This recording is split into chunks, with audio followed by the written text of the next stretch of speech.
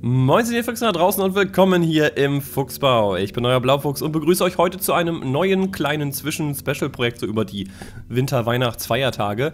Und zwar das Neo-Magazin Royal Game Royal. Das ist tatsächlich ein kleines Geschenk von Jan Böhmermann an seine Fans zum Abschluss der Neo-Magazin Royal Staffel dieses Jahres.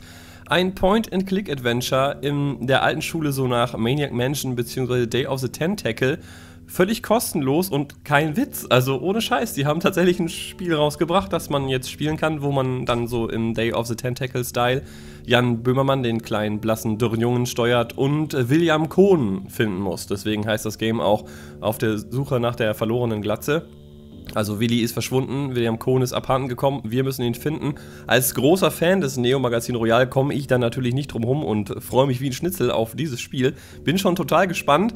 Das wird wahrscheinlich nicht, also Beschreibung ist, dauert drei Stunden, im Saarland auch bis zu 30. Schauen wir mal, wie lange es denn dauert. Also wir gucken kurz mal ins Optionsmenü. Okay, ist ein bisschen nach alter Schule. Es, es, gibt einfach keine Option. Das Ding läuft in 300 mal sonst irgendwas Pixeln. Natürlich gestretched auf Full HD, um diesen schönen Pixel-Look hinzukriegen. Und ja, ich, ich würde sagen, äh, da brauchen wir gar nicht so viel schnacken. Nochmal vorweg aber noch eine kleine äh, Info von mir. Wer das Neo-Magazin Royal noch nicht kennt, definitiv mal reinschauen. Ähm, ist ein Format auf dem ZDF bzw. ZDF Neo, gehostet von Jan Böhmermann und ist irgendwie, ich würde es beschreiben, als Extra 3 in noch mehr abgedreht und weniger Satire ist schon eine coole Sache. Also ich, mir persönlich gefällt es sehr gut. Ich bin aber auch ein großer Jan Böhmermann-Fan. Insofern könnt ihr da ruhig mal reingucken. Ich verlinke mal die letzte Folge in der Mediathek von ZDF unten. Und äh, das Spiel selbst ist, wie gesagt, auch komplett gratis. Wer sich das Ganze lieber erstmal selber angucken möchte und sich nicht spoilern möchte, dann jetzt am besten downloaden, eben erstmal selber durchspielen. Ähm, ist 15 MB groß, gibt es für Windows, macOS, iOS und Android und wie gesagt, völlig gratis. Aber gut, genug geschnackt. Wir legen, würde ich mal sagen, dann auch direkt los mit einem neuen Spiel. Schauen wir doch mal, wo es uns so hinführt. Mein Fortschritt wird automatisch gespeichert. Ja, das höre ich doch schon mal gerne. Muss ich mich um nichts kümmern, ne? Mittwoch, 16.12.2015, 11 Uhr. Tief in Köln-Hanewald. So sieht das auch aus. Die Mission Böhmermann. Mason Böhmermann.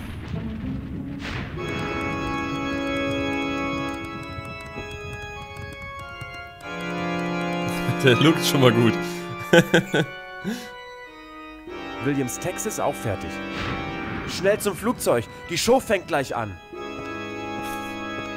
Hat auch sein Triceratops da hinten überm, überm Kamin hängen. Nein, wie geil. Neo Magazin Royal, das Spiel. Mit Jan Böhmermann. Nein, ist das geil gemacht, ey. Episode 1. Jäger der verlorenen Glatze.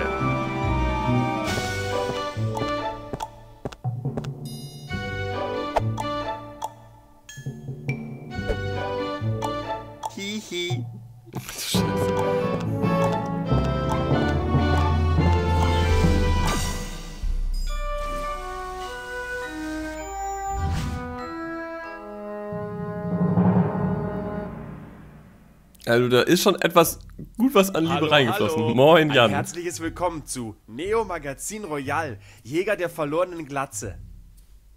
Die Show geht bald los. Hilf mir, William sein Sendungsbuch zu übergeben. Du kannst mich durch die Gegend steuern, indem du einfach irgendwo in den Raum klickst. Um mit irgendwelchen Objekten und den ganzen Verrückten hier zu interagieren, halte die Maustaste kurz gedrückt.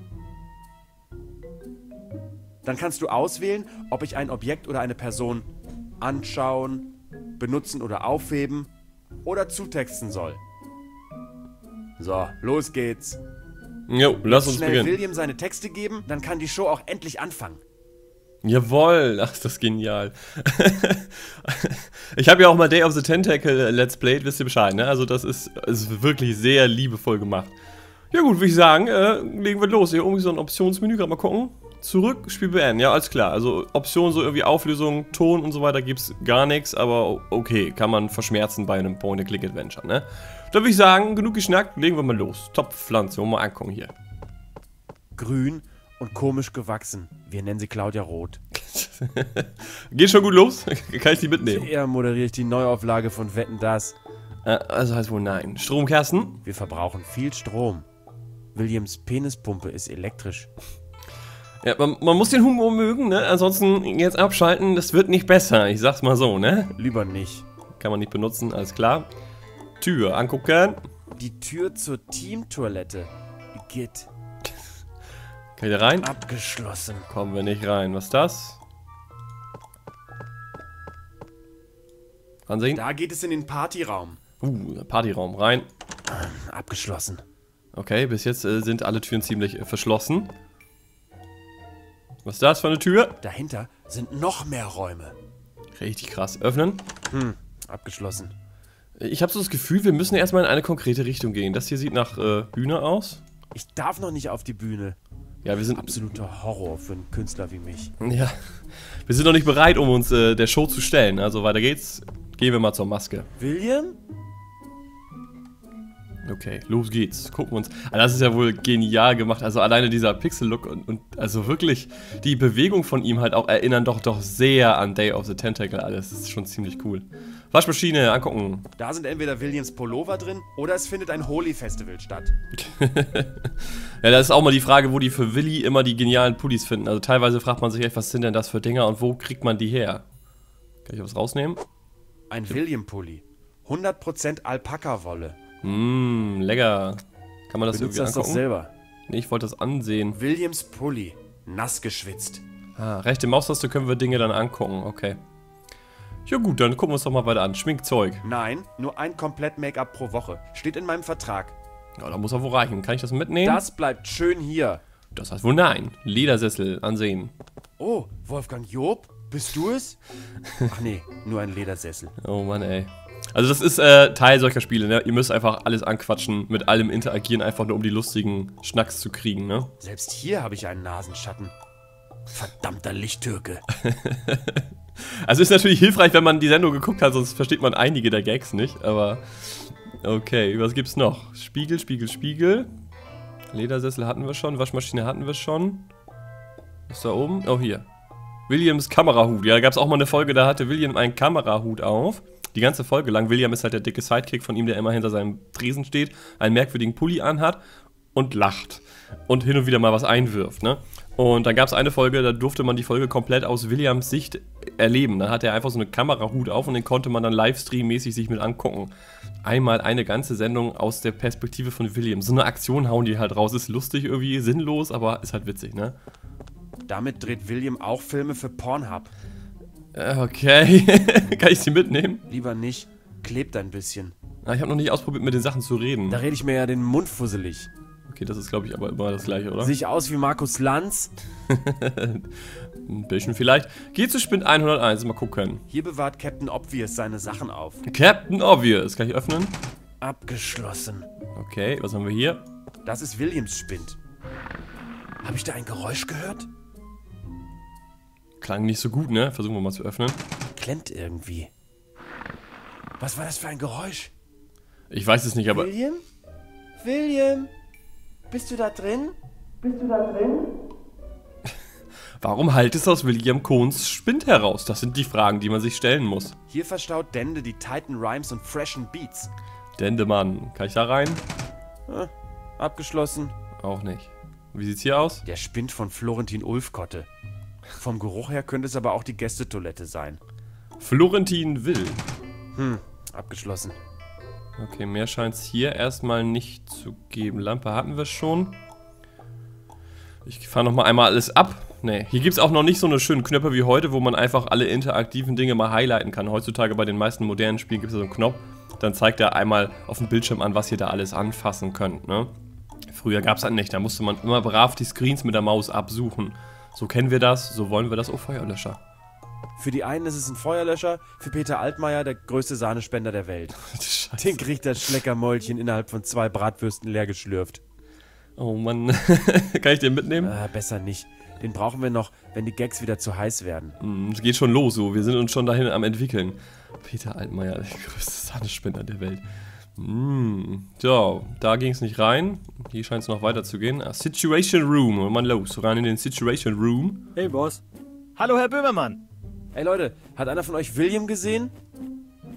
Also er ist der Beefträger, den kenne ich, aber wer ist er denn, Mann? Bart. Was zur Hölle? Na, wir gucken mal. Schauen wir mal, was hier los ist. Hier haben wir eine Gag-Machine. Ansehen.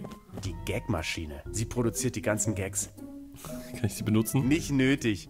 Mein War, nochmal. Nicht nötig. Mein Witzeköcher ist voller als Jenny Elvers auf dem roten Sofa. Oh, oh, oh. Siri, mach Gags. Hihi. Siri. Wall of Beef. Ja, wunderbar. Ich hasse die, aber ich liebe die auch. Aber ich hasse die, aber ich liebe sie auch. Aber ich hasse sie. Aber ich liebe sie. Kann ich was mitnehmen? Vielleicht Flair ganz nach oben? Ach, lassen wir erstmal so. Okay, Beef dürfen wir nicht mitnehmen. Welchen Bart benutzen? Ah, ich dachte, er springt jetzt rein. Eine Kreditkarte. Wer hat die denn hier verloren? Kreditkarte von Markus Lanz. Die Kreditkarte von Markus Lanz. Okay, guck dir das Bällchenbad Da an. drin verstecken sich die Autoren immer. Hut. Ein Hut? Was da wohl drin ist? Benutzen. Wärst du lieber das hängende Auge von Karl Dall oder die hängende Spitze von Yogi Löw? Oh nein, ey. Ach, das sind die Fragen von seinem Spiel da. In der Sendung gibt es immer mal wieder so eine, so eine dumme Spiele, die die spielen und dann gibt es dann auch so Fragen. Wärst du lieber das oder das oder das? Gibt's noch mehr? Mal gucken. Hättest du lieber einen Hundekuchen von deiner Mutter oder einen Mutterkuchen von deinem Hund? Oh nein. Ach Gott. Ja. Das Niveau geht gleich mal nach unten. Hättest du lieber einen Handjob von Edward mit den Scherenhänden oder einen Footjob von Oscar Pistorius? Oh je. Jetzt wird es langsam schon komplizierter. Aber die bescheuerte Lache haben sie schon mal gut übernommen, ne? Das läuft. Wärst du lieber das hängende Auge von Ja, Karl hatten wir schon, oder die alles klar. Gut, okay. Ich glaube, es scheint sich zu wiederholen. Einmal das wegdrücken, immerhin. Dann würde ich sagen, schnacken wir doch erstmal mit dem Beefträger. Das ist der Ansehen. Beefträger. Er bringt den Beef. Einer der besten Dinger in der Sendung. Der ist viel zu schwer für mich. Mitnehmen können wir nicht, dann texten wir ihn mal zu. Wer sind Sie und was machen Sie Wer hier? sind Sie und was machen Sie hier? Ich bin der Beefträger. Ich bringe den Beef. Haben Sie denn auch ein Beef für mich? Haben Sie denn auch einen Beef für mich? Ich habe hier einen in meiner Beeftasche. Oh, ich muss ihn hier irgendwo verloren haben. Den brauche ich doch für die Sendung. Oh Gott, ohne Beef geht's natürlich nicht. Haben Sie zufällig unseren DJ William gesehen? Haben Sie zufällig unseren DJ Will I Am gesehen? Will nein, nein. I am. Im Normalfall findet man ihn doch immer in der Maske beim Haaricam. Vor allem mit seiner Glatze. DJ Will I am. Was machen Sie da mit der Hornhautrommel? Was machen Sie da mit der Hornhautrommel? Parmesan fürs Catering. Oh, Igitt. oh Gott, lecker. Okay, ähm, haben Sie denn alles für die Sendung? Haben Sie denn alles für die Sendung? Ich bin Beef-Zusteller und habe keinen Beef.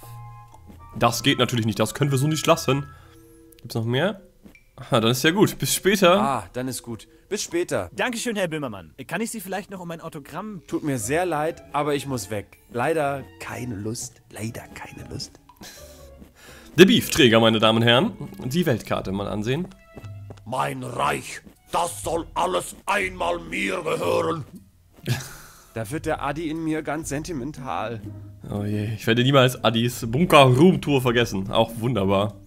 Kann ich das Nein, mitnehmen? danke. Kann ich es zutexten? Hey, das ist keine Talkshow hier. Nö, ist eine Wandkarte, ne? So, dann reden wir mal mit Bart. Erstmal gucken, wer das ist. Das ist Bart. Der tut nix. Der will nur spielen. So sieht er auch aus. Ich mag es, wie sein Bauch raushängt. Der Letzte, der das versucht hat, sieht jetzt aus wie Claude Oliver Rudolph. Also, wir sollten Bart nicht benutzen. Texten wir ihn mal zu. Hi, Bart. Hi Bart. Hey, Boss. Sag mal, Sag mal, was machst du hier eigentlich? was machst du hier eigentlich? Ich pass auf, dass hier keiner von Axel Springer reinlatscht. das ist schon mal gut. Hast du unseren glatzköpfigen Sidekick Hast du gesehen? unseren glatzköpfigen Sidekick gesehen? Nee, aber im Zweifelsfall ist er am Buffet zu finden.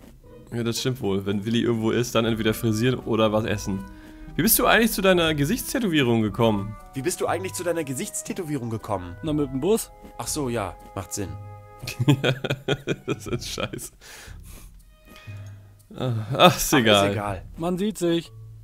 Das ist ja nicht hier, ich muss eigentlich nicht alles vorlesen, aber egal, es ist, ist so drin, Leute, ne? ich, ich lese trotzdem alles vor. Also hinter Bart geht es erstmal nicht weiter, hier haben wir noch Hautflocken. Hier könnte auch mal einer durchsaugen. Das ist leicht eklig, ne? Können wir die mitnehmen? Äh, das will ich nicht haben. Äh, Habe ich mir schon fast gedacht, ich würde das auch nicht anfassen. Ja gut, äh... Dann wollen wir mal weitermachen, ne? Türen waren alle dicht. Gab es sonst noch was? Bühne ging nicht. Oh, oh, Captain Obvious ist da. Hallo, Captain Obvious. Das ist Captain Obvious. Ja, reden wir doch mal mit ihm. Hallo, Captain Obvious. Hallo, Captain Obvious. Hallo Jan. Das ist schon wirklich ziemlich geil gemacht, ja? Hast du William gesehen? Hast du William gesehen? Zu dieser Zeit lässt er sich meistens die Glatze pudern. Man muss sich auch für die Sendung vorbereiten, ne? Hast du irgendwo Beef herumliegen sehen? Hast du irgendwo Beef herumliegen sehen? Du wirfst doch Post eh immer gleich weg. Ja, das ist wohl irgendwie wieder wahr, ne?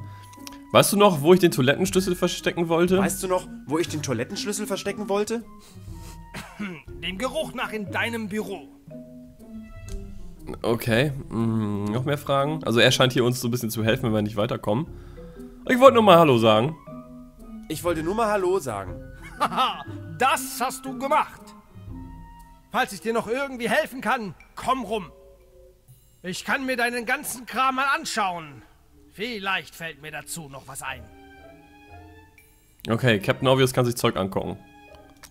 Benutze William mit William Pulli, nee, benutze, was? Benutze William Pulli mit William Pulli, nee, mit Captain Obvious. Guck dir mal Williams Pulli an. Schau mal, was hältst du davon? Der ist ja ganz nass. Ich hoffe, das ist nur Schweiß. Das hoffe ich auch. Was hältst du von Markus Lanz Kreditkarte? Schau mal, was hältst du davon? Markus Lanz Kreditkarte. Die öffnet nicht nur Schenkel, sondern auch so manche Tür. Ah, gute Idee. Okay, was haben wir hier? Sendungsbuch. Benutze das Sendungsbuch mit Captain Obvious. Schau mal, was hältst du davon? Da stehen Williams Texte drin. Das ist ja nicht so, dass ihm die jemand zuflüstert. Vor allem die deepen Texte, die er immer raushaut. William hat immer sehr tiefgründiges zu sagen. Na gut, wir können ja mal mit der Kreditkarte versuchen, irgendwelche Türen zu öffnen. Ich sollte erst einmal William finden. Also die Tür will er nicht aufmachen. Vielleicht diese Tür. Ich sollte erst einmal William finden. Okay. Vielleicht können wir den Stromzähler damit aufmachen.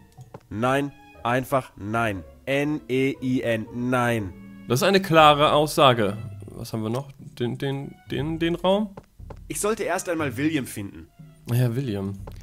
Vielleicht könnten wir damit seine Garderobe da, seinen, seinen Schrank da aufmachen. Das könnte klappen. Der hatte doch irgendwie geklemmt. Kreditkarte mit Williams Spind. Das siehste. Ah, mega fail. Die Kreditkarte ist zerbrochen. Aber dafür ist der Spind jetzt auf. Mega fail. Ja, ja, gut, dann mach mal, mach mal auf das Ding. Benutzen. Potztausend. Ein Geheimgang. Wie bei fünf Freunde. Da geht's wohl runter in den Quotenkeller. ja. Scheiße. Ja, es erinnert doch, wenn ihr jetzt mal an Day of the Tentacle denkt, an die Szene, wo man dann die Uhr öffnet und in der Uhr befindet sich ein Geheimgang. Das erinnert doch stark daran. Was sogar wie er reingeht, oh nein. Das ist schon sehr liebevoll animiert alles. Dieser William. Hierher verschleppt er nach der Sendung immer seine Groupies. Ja. Was nu? Es ist so dunkel. Ich habe ein bisschen Angst, weiterzugehen. Oha. Was ist denn hier los? Geh zur Kiste mit Seepferdchenabzeichen. Alles klar, schauen wir uns das mal an. Ach, die sind noch von meiner Flüchtlingshilfsaktion Seepferdchen für Afrika übrig. Uh, kann ich mitnehmen? Ach, die liegen eigentlich ganz gut da. Jo, ne? Krempel reingucken. Hier hätte der Trödeltrupp sicher seine große Freude. Kann man da was mitnehmen? Benutzt das doch selber. Okay, können wir nicht. Äh, Skelett, what the fuck? Lena hat aber ganz schön zugelegt. oh Mann, er haut aber hier ein paar Dinger raus, so. Eieiei. Also Humor hat, bleibt sich treu, ne? Will ich mal sagen. Da tut sie nicht viel. Aber gut, ihr, ihr habt den Hahn gehört, somit würde ich sagen, äh, Folge 1 ist dann erstmal abgeschlossen. Ich trinke jetzt noch einen Schluck Kaffee. Mhm. So, ich bedanke mich bei euch fürs Zusehen. Hoffe, ihr hattet soweit ein bisschen Spaß. Wenn euch das Ganze gefallen oder nicht gefallen hat, lasst entsprechende Däumlein da, Kommentare und Feedback natürlich wie immer gerne unter Video posten. Und ansonsten werden wir dann im nächsten Part weiter diesen geheimen Keller von William untersuchen. Bis dahin wünsche ich euch viel Spaß beim Zocken. Tschüss, euer Blaufuchs.